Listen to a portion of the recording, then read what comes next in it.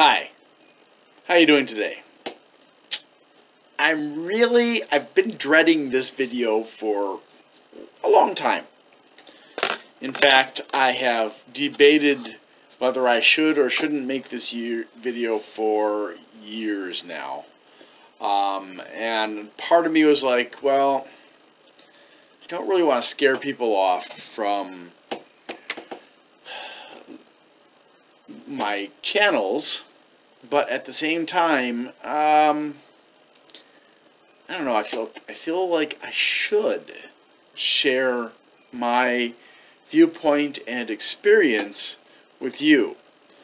Um, whether you agree or disagree, that that's your choice. Uh, I'm not trying to proselytize here. I'm not trying to. Um, I'm not trying to cause problems. Okay. I just want to talk about my experience, my observations, um, and talk about um,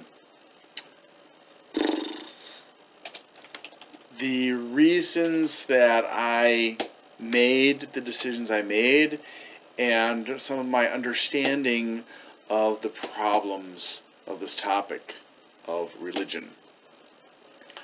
And uh, I apologize if I offend anybody. I know I'm going to. I, I'm going to probably offend everybody. So, sorry. It is what it is, as we say here in Ohio. Um, so, let's start at the beginning. Uh, when I was a little boy, my parents took us to a series of Protestant churches. Um, and at some point in primary school, we stopped going to church entirely. I don't remember why. I just remember my parents sat my sister and I down and said, We're not going to church anymore. You can continue to go to church. There's a church, and they told us where, where it was, um, which was near our primary school. You can continue to go to school, uh, church there if you want to, um, or not. But we're not going anymore and I really don't know what happened to them that made them stop. I don't know if it was because of the the fact that they were having a rocky relationship with the which they kept secret from us, or if they had become disenchanted with Christianity or Protestantism or what it was. Also, um, you should probably know my uncle. He was a Free Methodist minister. Uh, he was also an um, apparently he had a, a, little bit of a love affair with uh, alcohol. Um, and yeah, I will not go there though. Um, and my grandfather, his father, and my dad's father, obviously, um, was a Methodist minister. Um, after he did some other things in his life, he was basically a self-made man, um, as they call him my sister and her husband became disciples in the Church of Christ. Um, for a while, my dad and his wife were very active in their Protestant church, although now my dad is an atheist. My mom, uh, after my parents' divorce, uh, became an agnostic, at which point, you know, I don't, I don't think she told us when she was a teen, when we were teenagers. I think uh, it was when we were adults, but I really don't remember. Um, so yeah, so uh, I did go to one or two retreats when I was a teenager. I did have a faith healing done for me once, and the psychological impact lasted for days in helping me uh, because uh, starting in the early teens, uh, I was having a well, even before then actually. When I was in grade school, I was already full of doubts about religion. Um, and oh, that church that our parents said we could go to. My sister and I went once, and then we were like, eh. So, uh, yeah, I was starting to really have doubts about religion. The first religion I knocked off of my list was Catholicism. It was so easy to write it off. I mean, there's just so much hypocrisy and contradictions that I figured it out as a kid. And my neighbors who were Catholics were trying to proselytize me. I was like, uh-uh, no way, sorry. Um, and I'm not going to go into the reasons why I wrote off Catholicism, but because it all fits into the, into the larger scope of my video anyways. Um, so I had a lot of inner conflict going on. I mean, there's the part of me that wanted to believe in God, and there was the other part of me that was like, but sadly, that conflict, um, especially because I had religious family members who were, you know, kind of pressuring me a bit, proselytizing me, um, it pushed me into uh, depression. And then when my parents were divorced and certain other issues were happening in my life, uh, including bullying and, um, well, there some other stuff that I don't want to talk about um, at this point in my life. Uh, but basically, those things all caused me to spiral into depression. And by my senior year, I was really depressed. And um, uh, that was the year I had my uh, faith healing by the mother of a friend of mine um, because they were really worried about me because we it was the, near the end of the school year and I said goodbye to them in this very emotional way and they got the wrong message that I was going to kill myself, which is understandable because they did understand that I was depressed. Um, yeah, so then, um, and there's a side story in there that I'm not going to go into about what happened when I told them my goodbye but uh, it, was in, in, retrospect it explains some things that I I know. Um, anyways, my depression um, started to get better in my late twenties after I was on nortriptyline for several months. Um, I was able to understand how my brain was supposed to be working, and that allowed me when I got when I no longer was able to get the nortriptyline from lack due to lack of funds, I was able to fight the depression because I knew how my brain was supposed to behave, instead of that horrible pit where every day I was thinking about killing myself. Every day was misery. I remember times at one apartment that I lived in that I would spend a couple of hours sitting in the bathtub with the shower running. Obviously cold after a while. And I was crying. And the landlord was asking why the water bill was going up so much for the building because it was, you know, it was paid for by the landlord. Uh, I remember times when, you know, friends tried to help me. I remember times when I would get out of the house just so that I could escape for at least a while my depression. But then I would run into my social anxiety. So it was like, well, which way do I go? I stay home, I'm depressed. I go out, I have social anxiety. And also, I was pretty poor. I mean, there was there some low points, and um, so that that um, depression kind of let up, and especially I did have this interesting conversation with a doctor, and that doctor helped me to realize that part of my depression was from the divorce, and part of it was from my struggle with religion. Um, and that was that was really helpful for me to understand the root causes of my depression. And there are other reasons, of course, but that's not the point of the video. So after that, in the 20s, I started to search for the truth about religion. So I, I read the whole Bible. I read the Apocrypha. I read the Quran. No, I'm sorry, that was later uh, when I was in Indonesia. I read the Book of Mormon. Um, I read about Druidism and shamanism and Wicca and some other stuff. And then in my 30s and 40s, I read about uh, Buddhism and Hinduism via the Upanishads, and also in talking to Indian friends and uh, some other stuff. Um, so I was looking for a religion that actually made sense.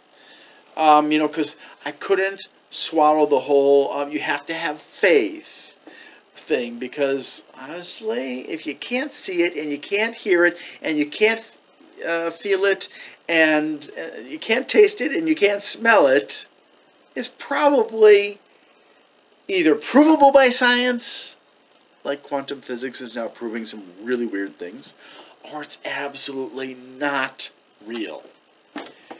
And the only proof that I could find to support any of these religions was made by people who complain, who either claimed to be directed by God, inspired by God, and meditated intensely and and were enlightened and, and so on and so forth. And I was like, yeah, no.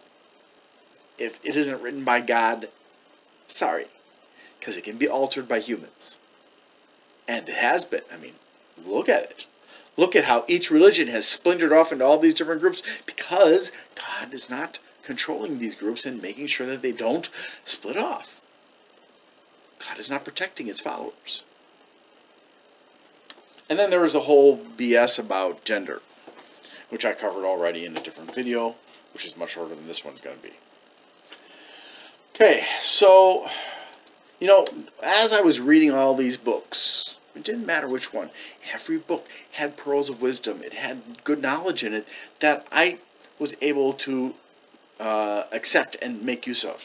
Um, so I'm not. There's nothing. It's not like these books have no value to them. It's just that they're books of fantasy, not reality, in my opinion. What you believe is your problem. So, I believed in uh, soulmates and kindred souls, and eventually I just I realized that was a romanticization of the truth. There are no soulmates. There are no kindred souls.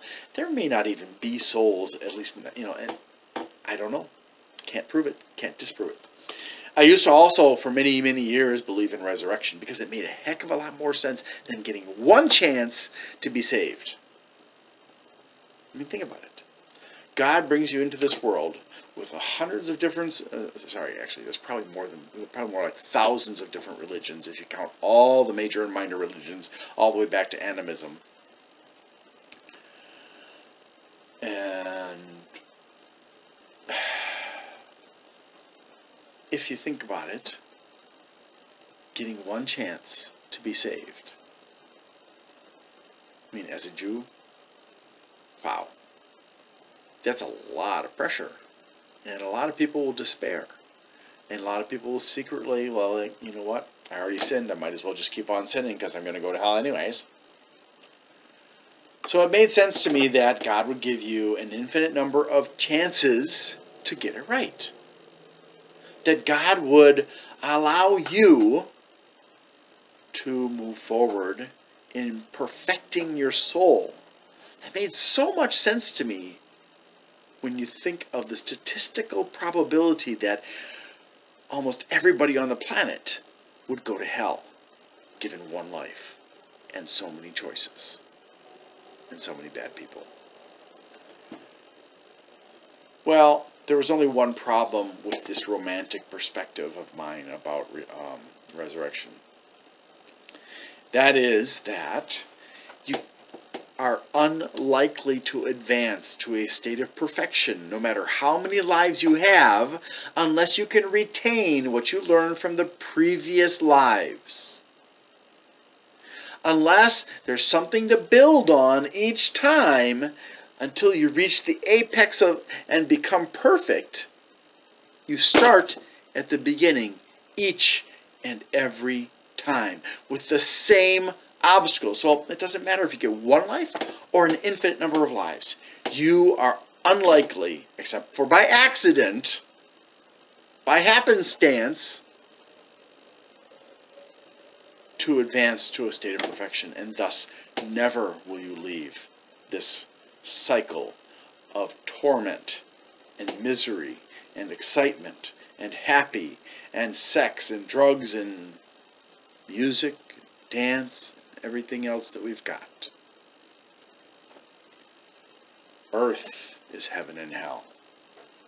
That is the real heaven and hell. We live on it, we live in it, we make it what it is.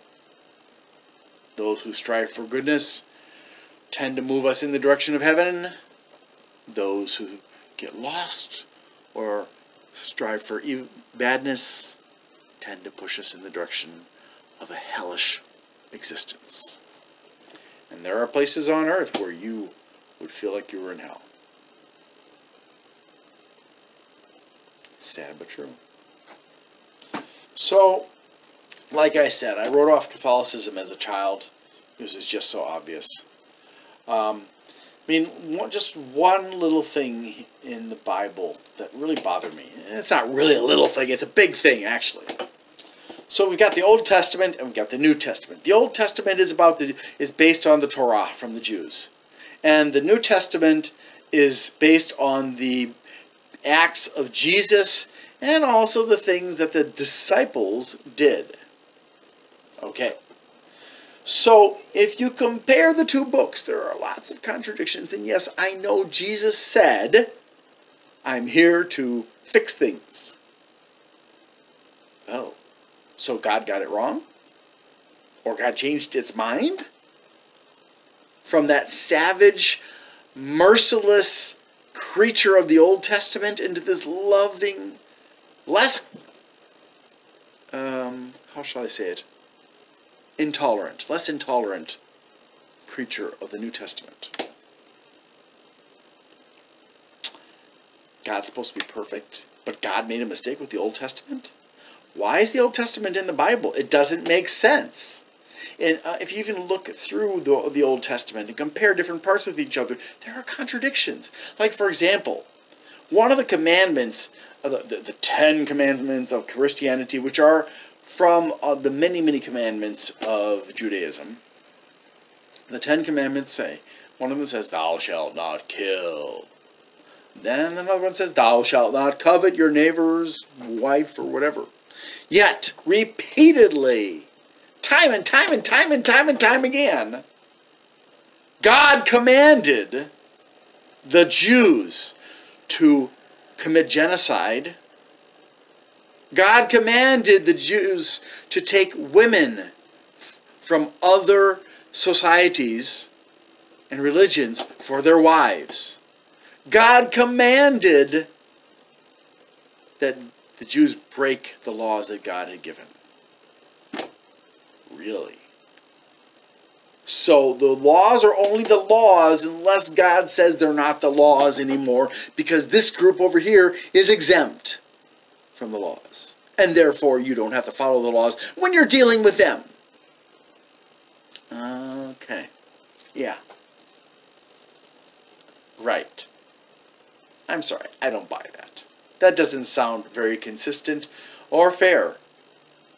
And then to switch over to this different system in the New Testament sounds to me like it's not even the same God. Because the God of the Old Testament is wrathful and petty and jealous and merciful and loving and oh my god it's like i'm dealing with jekyll and hyde in the old testament and then it becomes two books that it's it's like even more jekyll and more hyde and i just I, I, ah! it was just too much for me to accept it was too much nonsense so but you know, let's let's set the Bible aside, okay? Because this is my journey, right? So I looked at history. Yeah. The Spanish Inquisition. Witch hunts. Crusades. Sexual abuse. Aborted nuns' babies buried under churches. Assassinations. Warmongering Pope Alexander VI papal bull for the Treaty of uh, Tordesillas, and 35 years later, the Treaty of Zaragoza.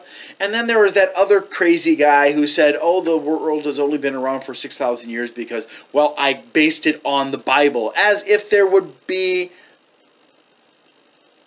uh, an entire history of everything in the world from the beginning to the end with absolutely no gaps. And yet, if you look at the Bible. There are clearly large gaps in the history of the Bible. Large gaps. Large gaps! That would lead a sane person to realize that 6,000 years is not long enough for God's creation. Sorry. Sorry. It's BS. Okay?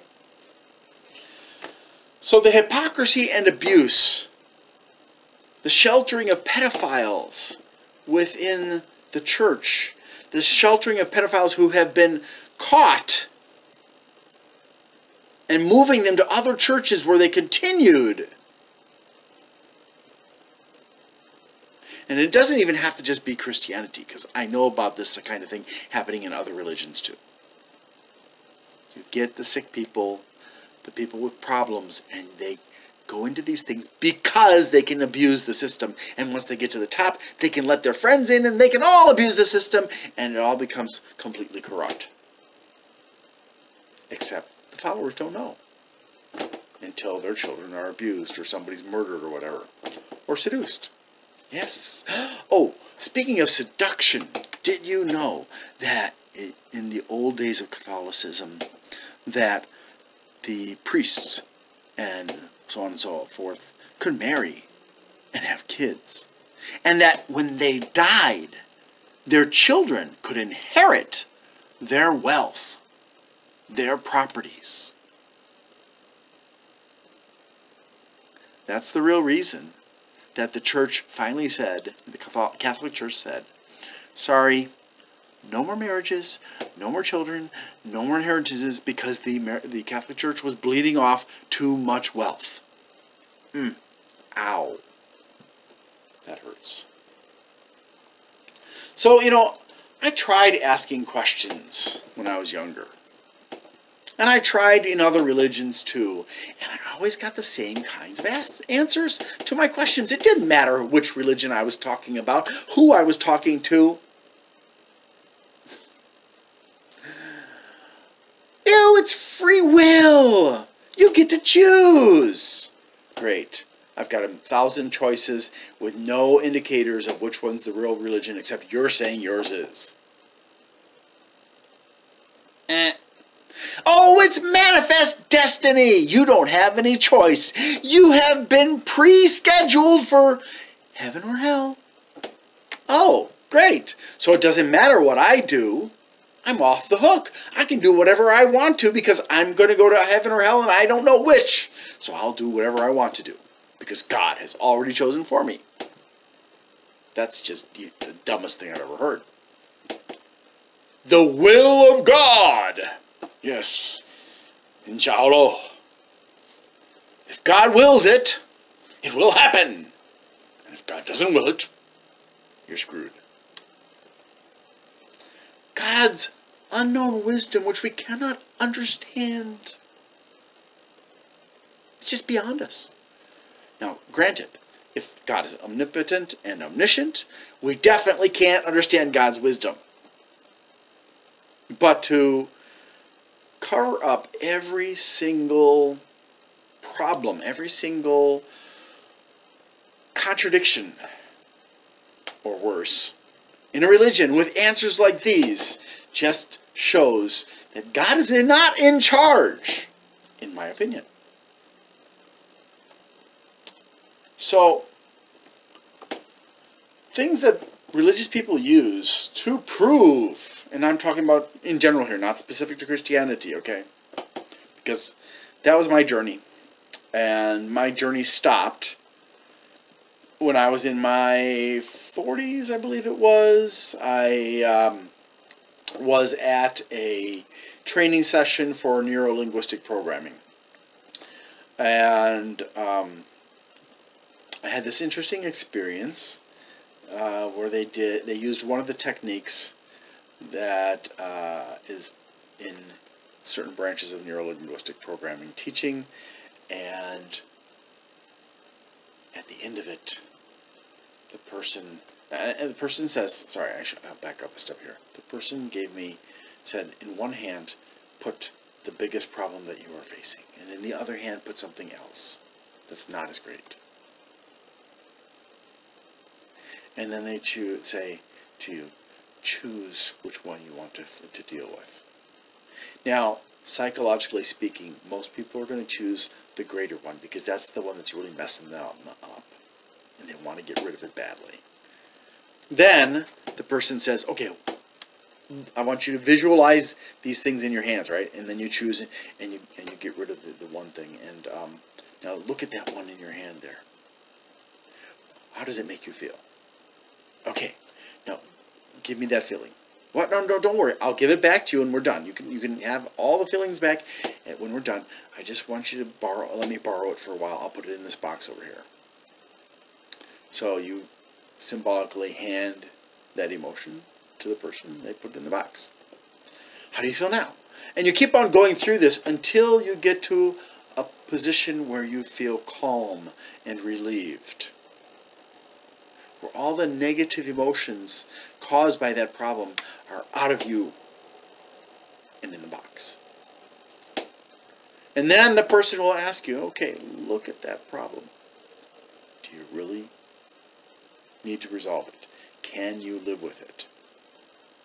And it was at that point that I realized I could live with it. I didn't have to resolve it. And I, in fact, could not resolve the question of God because only God can do that for me. And God has not chosen to do so.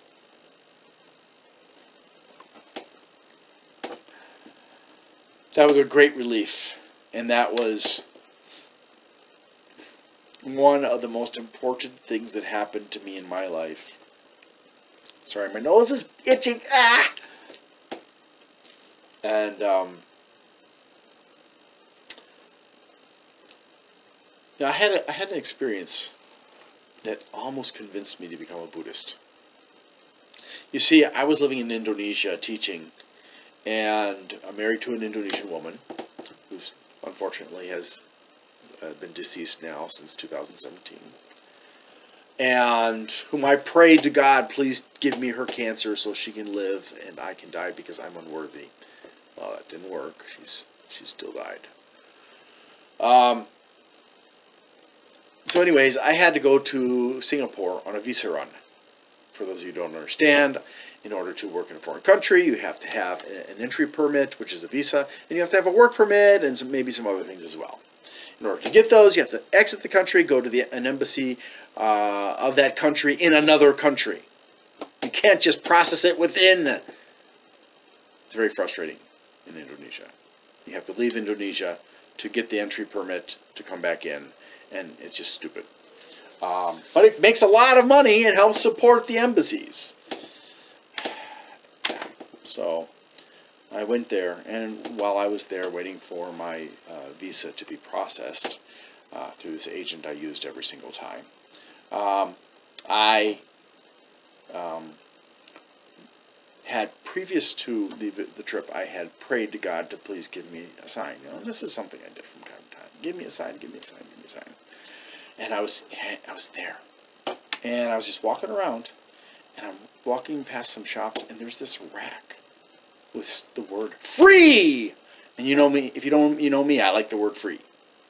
So I stopped and I looked, and it was religious books about Buddhism. I was like, ooh, how lucky of me. And it was a small rack. So I chose everything that uh, everything that was on the rack. I took one of. As I was, and then as I was doing this, somebody stops and talks to me, and he says to me, "You know, there's a big store you can go to where you can get lots of stuff about Buddhism." I said, "Well, where is it?" "Oh, just go that way." And he pointed off, and and I was like, "Oh, thank you so much." I'm, I was I was elated because I really wanted to understand Buddhism, and I didn't have much information about Buddhism, and I had been kind of admittedly lazy to look it up on the internet, which would have been easier than what I did. But anyways, it was a sign from God, wasn't it? Well, hold on, let me get to the rest of my story. So, I collected those books, and I start walking, and I get to another rack of free stuff that's bigger. Not as big as the guy implied. I was disappointed. I had expected a whole shop full of free stuff. But I'm willing to accept free, even if it's not a lot. Gosh! there was so much stuff between what I already had and this larger rack. I put down everything that I had on the floor so I didn't duplicate and started adding stuff to the floor. As I'm sitting there, a woman stops by and she looks angry. And she looks at the books and she looks at the one, there's one that I found about Buddhism and anger, right? She said, May I have that one? And she really looked like she needed it, so I said, Yeah, go ahead. I wasn't going to tell her, sorry, I'm taking it home. Or it's back over there on that rack over there. And I was like, Yeah, go ahead, take it. You look like. I didn't say it, but I was thinking, You need it, don't you? Um, and then a man came by and he said, Hey, there's a store over there that's much bigger and it has lots and lots of free stuff. Free stuff. It's like, Hallelujah. Except Buddhists don't say that, but right, you know? and so I pack up all this stuff. And by now I've got a lot. Okay. I've got a box worth. Okay. I'm carrying it around. And I walk and I find in a different, in a mall, a, a multi-story mall, um, I find a large, well, large, not, not really large, uh, living room size, for those of you who aren't rich, a living room sized, well, maybe it is bigger than that. All right, a fairly, it's more than, it's bigger than living rooms. It's bigger than living room and dining room put together. Maybe living room, living room, dining room, maybe plus kitchen. I don't know, it depends. Um, but it's large enough. And there were lots and lots and lots of books in it. Free! so, I walked in there and I looked at the first book. It was written in Chinese. I looked at the second one. Chinese, third, Chinese, fourth, Chinese. I was like, what the heck? Why did these people send me to the store when it's all in Chinese? Everything was in Chinese. Everybody in there was Chinese. And I was very frustrated. I stepped out of that store. And this man approached me who clearly was or had been a Buddhist monk because he had those Tibetan dots burned into his scalp. And he said, Are you looking for books on Buddhism? Yeah, I was told this was a free store, but it's all in Chinese, and I don't read Chinese. I don't know Chinese. Oh, well, don't worry. Come with me. I'll take you to a, a, the store. And I was a little bit nervous, but, you know, he had the dots, and I thought, okay, I'm in a mall. I'm safe. He's not going to do anything to me. So he took me up a couple of flights, of, uh, and uh, we got it. Went into this small store and the people inside were so nice. They gave me a box for the books I already had. I explained that I was doing research trying to understand Buddhism, and they said, and they they gave me a bunch of others. They said, read this and this and this. Read this one later. I didn't remember what they said because they I had so many books by that time. I had not to mention the educational materials that my boss wanted me to buy on my own expense and then be reimbursed for. I also had, you know, I had like a box and a half and I would say you know like uh, like maybe a medium sized box like, like I don't know like this box size I guess. Um, I had two boxes filled with most mostly the Buddhist books and then a small number of educational books and uh, storybooks too for kids. So wow and then after we were done after, and, uh, and I was just so enthused because I had all this stuff and we're leaving and the old man the ex-monk is still with me, and he says, "Are you hungry?" I said, "Yeah." I'll, would you like me to buy you dinner? I said, "Oh, okay." So we went downstairs uh, to the uh, food court, and he ordered us some veg uh, vegan food. It's, uh, I think it's vegan. Maybe it's vegetarian. I think it's vegan though, because Buddhists are not supposed to eat meat, uh, anything from animals, unless they're given it as a donation. Then they can. Although I did see Buddhist monks buying meat products, which is strictly forbidden. Um, but anyways, so he orders some laksa for us. And uh, if you've never had laksa, laksa is, I think it's fish-based, and it's got noodles, and it's got some vegetables, and it has an odd taste. And it can be very spicy if you want it that way.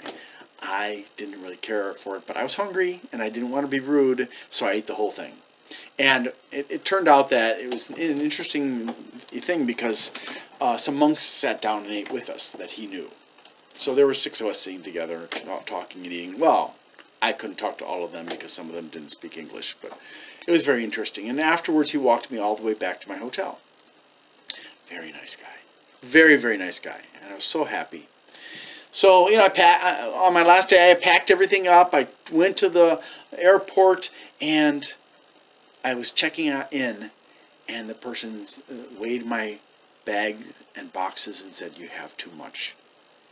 You can get a lock." I said, "Well, what am I supposed to do?" Well, you can get a locker and store it for the next time you come, um, or just get rid of it, uh, but or pay for it. And I was like, "Well, I don't have extra money to pay for it," so I stepped out of line. It wasn't a big line, anyways. and uh, I started sorting through the box. I'm this, and I was so confused. I, I tried to remember what the shopkeepers had told me to were the most important ones to start with, it, and and keep those, and I just couldn't. And suddenly there's this guy, this official looking guy, standing over me, and I was like, oh shit. I look up at him. He said, "What are you doing?" And I said, "Well," and I explained. And he said, "Oh, okay, hold on." And he went away. He came back. He said, "Don't worry about it. You can go on the plane." I said, "Well," I, he said, "The person said I have to pay." He said, "No, no, it's okay. You can take them on. Go ahead." All of them? Yes, all of them. Okay, so let me ask you this: Is this not a sign from God? These series of events, I get to lots of materials. I get to help an angry woman. I meet a nice uh, monk who feeds me dinner and meet some other monks. And then the guy at the airport lets me on the airplane without having to pay for the extra cargo. Is that not a sign from God? Okay. So, you have to understand. Singapore at least the tourist district, tends to be kind of divided up into different areas. There's little India and little China, and then there's areas where you'll find a lot of Buddhist stuff, and there are areas where you'll find a lot of Hindu stuff and, and Christian and, and so on and so forth. I had a um, a hotel right next to some Buddhist shrines, temples, whatever you call them, right next to it. And on the other side also was the places I had been visiting. So I was in a heavily Buddhist area. So no wonder people were telling me where I could go. No wonder I got help from Buddhist people. It wasn't a sign from God. It was where I had accidentally situated myself. Now, I know some of you are going to say, well, you didn't accidentally situate yourself that you were supposed to be there. And uh, that's for you to believe, okay? That's, that's your, that's okay. Okay. Anyways, gosh, that was probably the most exciting experience of my life in trying to get closer to God. And I really do like Buddhism. I don't like what the uh, Buddhists in Myanmar have done with it. They've abused it. I don't like what some of the Shaolin temples did with it in the past. Um, but Buddhism itself has some a lot of things about it that are really, really good compared to Judaism, Christianity, and Islam. It's better. I'm sorry. Better. Sorry. Not sorry. Okay, so let's see. Um, so there are lots of ways that religious people will try and have tried, present and past, okay, I'm going to be historical as well, uh, to convince somebody that they are the real thing. Their religion is the real thing. Now, if you go to the, to many countries, especially in Asia, even here in the United States, where people are very, very gullible sometimes, you can find spiritual healing. Um, you can find spiritual surgery, where they fake insert their hand into your abdomen and pull out chicken guts that they had hidden in their hand. Because they go like this. They close up their fist, and they had the chicken guts hidden here, and then they squeeze so that some blood comes out of the chicken guts, and then they pull them out, and then they do something so they can grab some more without you realizing they're grabbing more. They're very good at this. And people go to these surgeries all the time and pay them lots and lots of money, and then they die quite often. And my my father-in-law went to faith healer after faith healer because he had diabetes and hypertension and he had a stroke and they wanted they were so desperate. And every time my mother-in-law ex-mother-in-law ex-father-in-law she would um, give the faith healer money as if a miracle had occurred when nothing had occurred except for chicanery. So these people will use magic like mystics and shamans and witch doctors and psychics and mediums, or they're very charismatic. Um, and they will manipulate you with psychology. They'll trick you with mixing facts and fiction and do all kinds of stuff. And then, well, yeah, the holy books, what I was talking about with the Bible, it's not unique to the Bible it's it's in a lot of different religious books. You find these contradictions and things that just don't make sense. Um, so then there are symbols and rituals and consumables. So symbols, uh, for example, the Christian cross, the Jewish uh, David Star, the, the moon for Islam, rituals, baptism, confession, induction, uh, consumables, drugs like ayahuasca and peyote, holy water, holy wafers, sacrifices, and so on and so forth. And these are all things to to catch your interest and make it more mystical and um, and make you desire more of the religion. On top of that, we have the the non-physical aspects, the psychology and the sociology tricks that are played on you. Okay, so um, if we look in a broad context of all religions, we see that between religions there are a large number of general similarities. It's in the details when the devil messes things up. But if you look, and, and there are famous people like Joseph Carpenter for one, uh, sorry, Joseph Campbell for one, and um, others uh, who have studied religions intensively and notice, oh, this is the same in most of the uh, in most or all these religions. This is the same. This is the same. This is the same. This is the same. And these are the little details that are different. But the general rules and conditions of most religions are the same. Well, why would that be? Well, because one, they're working off of each other. They're working off of a desired way of life um, they uh, have built themselves on different religion's platform of morals um, and so on and so forth. There are lots of different reasons, and it can be also because of manipulation, control, getting your money, getting your well, uh, you know, your your property, getting your commitment, uh, and so on and so forth. It doesn't matter whether it's a regular religion or a cult; they they all do this kind of stuff to one degree or another. So then there are the religions that are built on top of other religions. Now, um, you can do research on this for yourself, but if you look at uh, the Judeo-Christian Islamic system, okay, so Judaism came first, Christianity came third, Islam came, I'm sorry, Christianity came, came second, and Islam came third.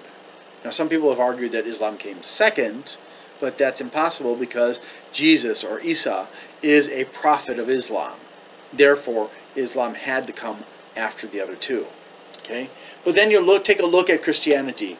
Within Christianity, first there were many, many different splinter churches. Then they were consolidated by Constantine uh, into Catholicism, and then later there was all the breakoffs from them that became Orthodoxy and Protestantism.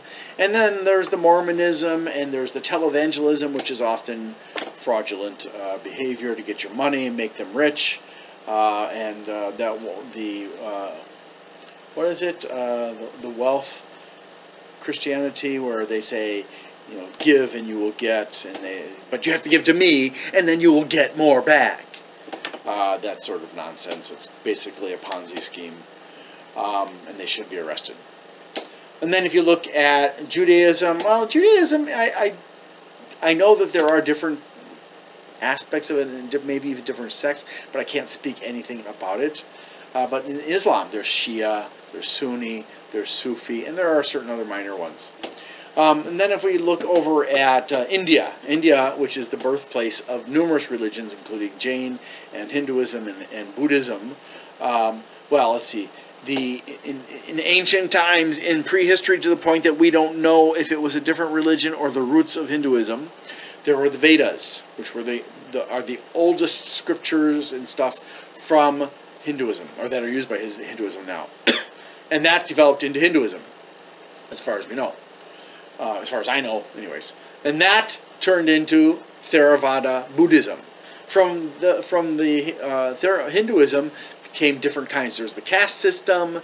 There's the one god system with different all the demi all the different gods are just a representation. Just like when you talk about uh, God and his different uh, personality traits, you know that those are you know the 99 traits or whatever.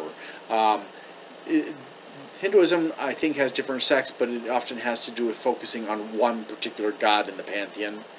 But in reality, Hinduism is a monotheistic religion that has been corrupted into a pantheonic religion. Um, from Theravada Buddhism, there sprang Mahayana, Nichiren, Tiantai, Pure Land, Zen, and a bunch of others. Um, so religions keep on building on each other, and uh, even when you talk about the savior figures in religion, this you can see the same exact thing. So, uh, and I'm not an expert on this. Um, Bill Maher, Maher um, I don't always agree with Bill Maher. Uh, sometimes he's he's he's an idiot, and sometimes he's a genius. Um, but uh, he made a, uh, a movie called Religulous, which addresses the issue of savior figures. He talks about Krishna, and he talks about Jesus, and he talks about all these other figures who it really seems like one was built on top of the other until we get to Jesus and other current holy figures. Um, so I urge you to do your own research on that, how various uh, people, demigods, and gods seem, you know, and even if you look in Europe and you look at the old pantheonic religions, the mythology that we studied in high, in uh, what junior high school, I guess it was, um, you'll see, oh gosh, um, there's uh, the Greek one, and there's the Roman one, and then there's these other ones, and they're all very, very similar to each other, except for like names, and sometimes there are differences in which god or goddess handles what.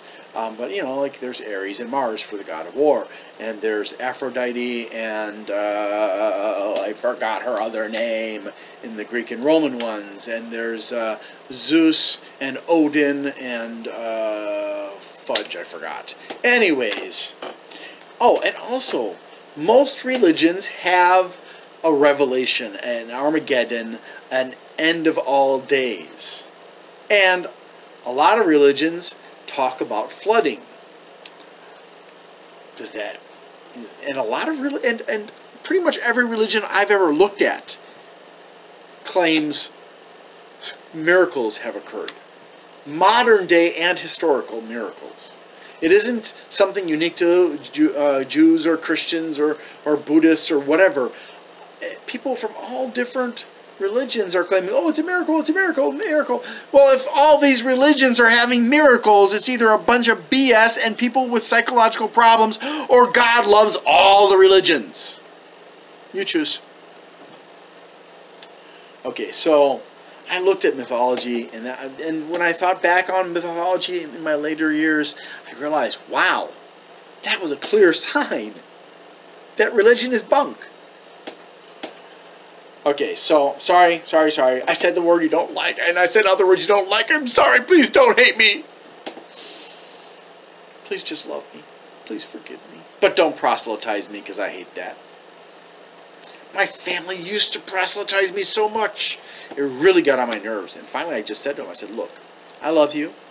you you believe what you want to believe, but don't proselytize me anymore. I don't have an interest in what you believe. Some of them got the message faster than others, and some of them still try. I love them, and they're not abusive, and some of them have even apologized.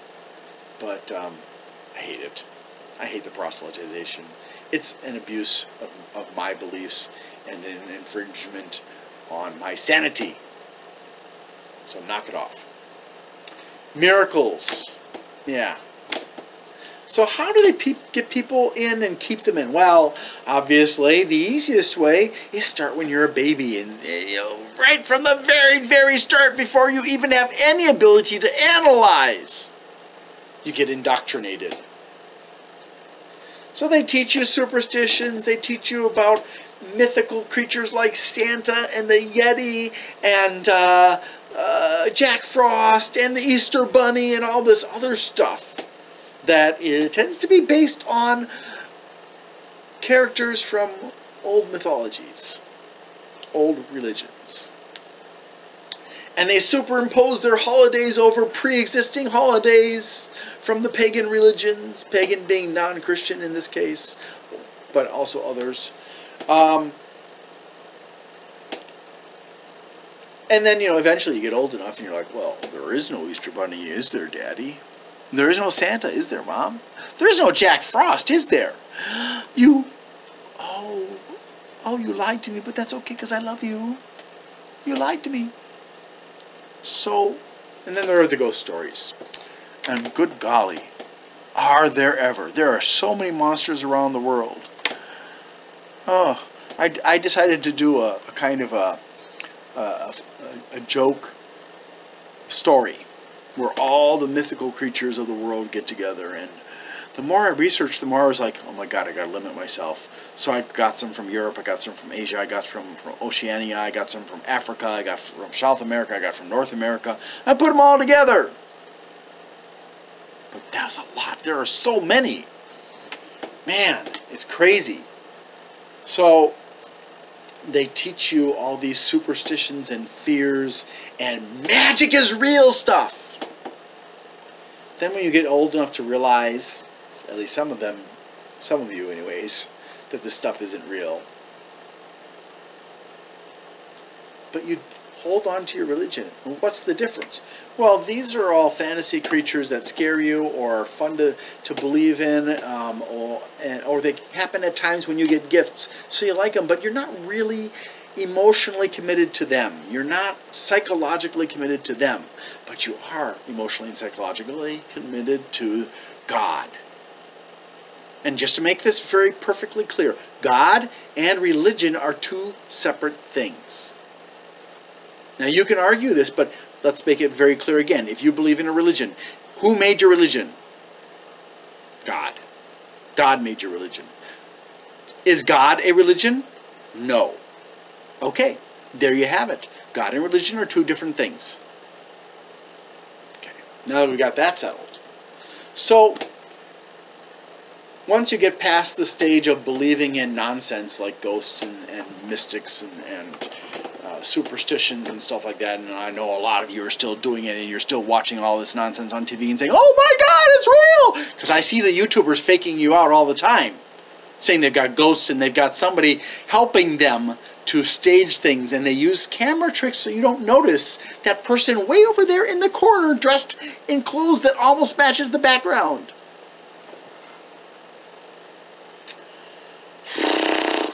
Okay. So, in later life, you may be brainwashed through intense experiences with acceptance, love, and kindness from the congregation and the clergy. You may get a lot of help. You may be in a very bad situation in your life. And miraculously, these people who you've been in your life all this time appear and they save you. And look, if that works for you, if the people who saved you are your haven, are your sanctuary, are your saviors, and that religion helps to keep you safe from doing harm, from, from harming yourself, from being a homeless person, whatever, if that religion helps you, all power to you. Go for it. Do it. Because at least you're better off than you were. But watch out for the manipulators because they are there. The ones who will take advantage of you to get things. Because they use religion to do that. The pedophiles, the narcissists, the psychopaths, and so on. They use religion to defraud you, to take your power for their own. Be careful. Because they are people. They're not religion. They're not God. They're people. I don't care if they're clergy, they're still people. And people can do good or bad or even both. All you have to do is look at history to see what I mean. So let's see, what else do they do? Um, well, in essence, they use psychology and sociology to manipulate you. Now, um, keep in mind what the other stuff I said, like magic. Magic is a big component of religion because there are aspects of magic that can be used to trick you. Let's see. So, things that they use in terms of psychology and sociology is well, you know, there's that that sense of belonging, right? When you belong, you want to continue to belong, even to when you're being somewhat abused.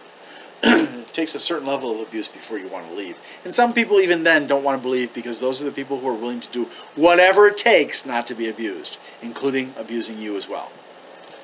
So, there's a you have a desire for purpose, for greater meaning, for non chaos, for community, for common moral grounds, for support, giving up power to something greater, wanting to be led by the nose because you don't want to be the leader anymore. You're tired. You just want everybody to tell you what to do.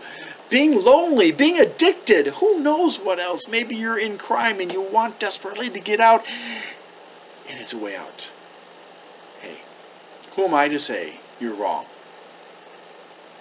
But this is what they do. And also to get you in and keep you in, they use peer pressure, the threat of excommunication, the threat of ostracization, and, and ostracization, obviously, threats in general, abuse, name calling, murder, exile, afterlife incentives, fantastical stories. Oh, I'll tell you about one of my favorite ones in just a minute. Stories of the future that cannot be proven, stories of the past that cannot be proven, claims of divine intervention, power uh, sorry, claims a divine right to collect wealth and power, telling you that you're wrong, shotgun weddings, retreats, and in conclusion, the fantastical story I want to say, share with you today is from Islam. You may have heard that some suicide bombers of Islam become that way because they are approached by somebody who's manipulating them through the religion, you know, through religion and psychology and all that, and they're manipulating them, and they're saying, "Look, I know you've done some bad things, but God will forgive you if you put this bow on your back and you go to this location and explode it. You will die. However, when you're dead, you will appear in heaven, and you will have a whole everything you want. You will have a beautiful place to live." You will have lots and lots of money, and you'll have all sorts of virgins to fuck oh, excuse me, to have sex with.